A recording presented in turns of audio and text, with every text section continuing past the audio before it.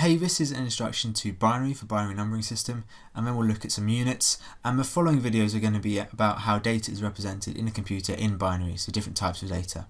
We first need to go through a theory to do with numeral systems or numbering systems. So in everyday life we use decimal, also known as denary in this topic, so exactly the same thing, decimal denary, what we use normally.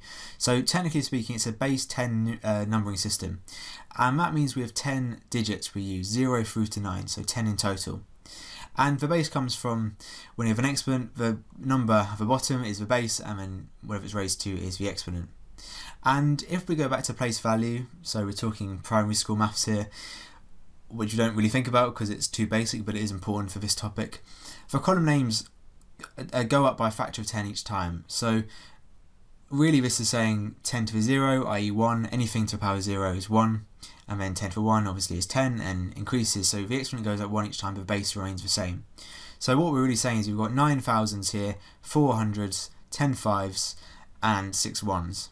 And add together you get a number. So this is important when we talk about binary, because binary is a base 2 system, meaning it's got only two digits, 0 and 1. So all data used or stored in a computer is represented by binary digits shortened to bits. So a bit is either 0 or 1. And all inputs to the computer have to be converted to binary to be used, to be executed, or to be processed. That's why the following videos are all about representing data, different types of data in binary. So we are going to look at representing numbers, of course, but because binary doesn't only represent numbers, it represents all types of data, images, videos, and so on. It's better to think of 1 and 0 as symbols representing true or false, and this allows us to do something called Boolean algebra, which we, or logic as we've talked about. And this is replicated in a computer with two different voltage levels, so it can be on and off, on being for 1 and off being for 0. But in reality it's probably more like two different voltage levels, so 10 volts and 5 volts. And that's why we use binary with computers basically because it's so simple to do. We could use base 10, we could use decimal, but we'd need 10, 10 different voltage levels and there are certain logic we can do in binary which we can't do in decimal.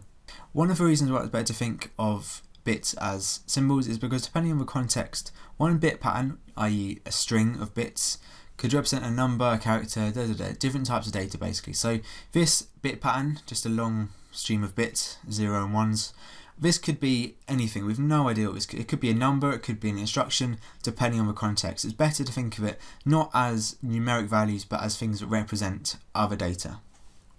So just to look at some units for binary, so a way to express an amount of binary numbers. So a bit is a fundamental unit. You can't get any smaller than a bit. It's either 0 or 1.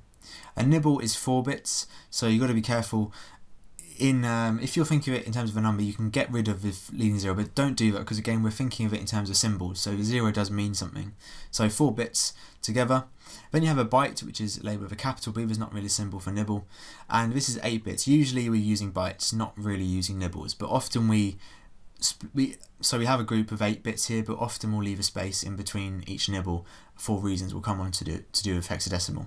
Now it becomes more confusing than it should be, really. We have a kilobyte, which is a lowercase k and then a capital B, and this is a thousand bytes. Then you have a megabyte, which is a capital M and a capital B, and is a thousand kilobytes, so each go up by a thousand each time. But the issue is, unfortunately, there are two kind of ways of dealing with um, these larger sizes. So whoever um, came up with these, so so kilo and mega come from physics, right? But physics deals with decimal, not binary. So physics is in terms of tens, whereas binary is in terms of twos, which makes things difficult. So actually, we now we now should be using sizes called using binary prefixes. So like a kibibyte as KIB is 1024 bytes. And this is correct. You, you never really get 1000 bytes.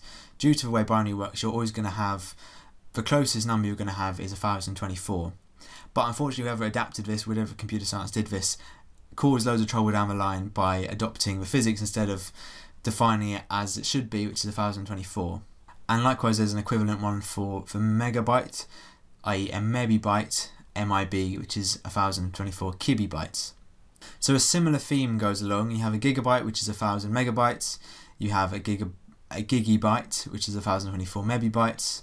You have a terabyte, 1000 gigabytes, a tebibyte, 1024 gigabytes, and then you have a petabyte, which is 1000 terabytes. and a pebibyte, which is 1024 tebibytes. So the binary prefixes definitely sound a bit more pathetic, but these are actually the correct ones basically. So if you see megabyte, you should assume it's a thousand kilobytes